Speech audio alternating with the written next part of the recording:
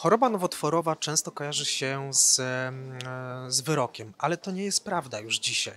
Jak istotna jest nie tylko profilaktyka, ale to, żeby osoby z diagnozą e, nie znikały z, em, z, z życia e, społecznego, tylko jak, jak sprawić, żeby w tym życiu społecznym pozostały, e, no i mogły cieszyć się życiem. Znaczy przede wszystkim wszyscy lekarze mówią, że y, aktywność, spotykanie się z ludźmi, aktywność w życiu codziennym e, to jest element e, całej e, terapii. Że nie wolno zamknąć się w domu, zostać samemu ze sobą, dlatego że to powoduje, multiplikuje problemy. Jeszcze do niedawno wydawało się, że choroba nowotworowa to jest tabu, że być może to jest coś wstydliwego nawet, tak? Czy choroba e, piersi. Kobiety bały się bądź wstydziły chodzić do lekarza, żeby e, no po prostu podejmować tą profilaktykę i e, wykrywać zagrożenie w odpowiednim czasie. Jak przekonywać te osoby, jak przekonywać kobiety, żeby szły do lekarza i żeby się badały? To jest bardzo trudne.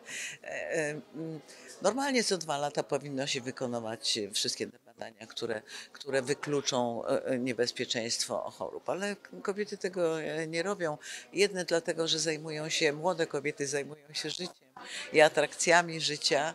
I szkoda im czasu na siebie, nie, nie czują zagrożenia, nie mają świadomości, jak bliskie jest zagrożenie, a, a z drugiej strony są kobiety, które po prostu nie mają odwagi e, zająć sobą nikogo, rodziny, odjąć rodzinie swojego, swojej opieki, czasu, po prostu robią ciągle krok do tyłu innym, innej rzeczy dając e, pierwszeństwo. No ale jak przekonać, żeby było inaczej? Ja nie wiem.